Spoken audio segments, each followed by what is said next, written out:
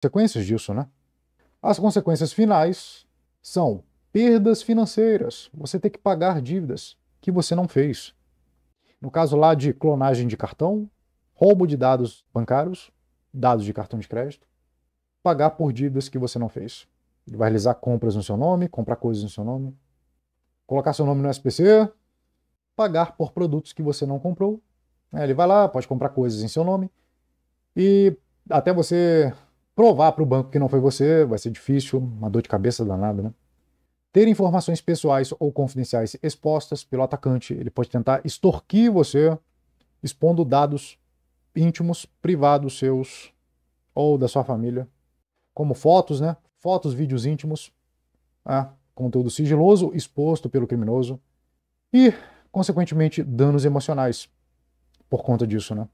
Ou perda de reputação, porque pega aquele caso lá do criminoso que foi lá e invadiu a sua conta na rede social. Aí ele foi lá e aplicou o golpe em vários dos seus seguidores. Imagina o prejuízo que isso vai dar. Imagina, olha, alguns vão entender, outros não, perderam dinheiro. Quem perde dinheiro é difícil entender, né? Alguns vão entender, mas não vão te seguir mais não. Outros não vão te entender e vão colocar na tua conta. E vai talvez até obrigar você a pagá-los aí, por essa perda que eles tiveram. Bom, isso vai trazer então um custo de correção, é um nome que eu inventei aqui, né? Por quê? Você vai ter que comprovar que não foi você que aplicou o golpe neles. Vai ser o primeiro passo. Vai ter que chegar lá na rede social, se explicar. Gente, não foi eu.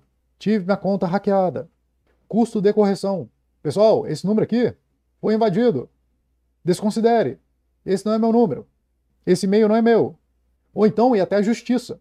Provar na justiça que não foi você que fez as compras lá utilizando o seu cartão, né, para reaver o dinheiro lá com a instituição bancária. Enfim, custo de correção.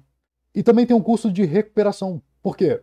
Uma vez que o atacante roubou seus dados, suas credenciais, você não vai poder mais usá-las. Você vai ter que substituí-las. Vai ter que modificar a forma como você faz negócios. Vai ter que criar uma outra conta na rede social, caso o seu negócio dependa dela.